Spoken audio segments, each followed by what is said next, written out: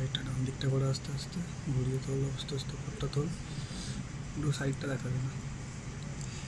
নিয়ে চলে যা, দূরে নিয়ে গিয়ে আমাকে দেখা।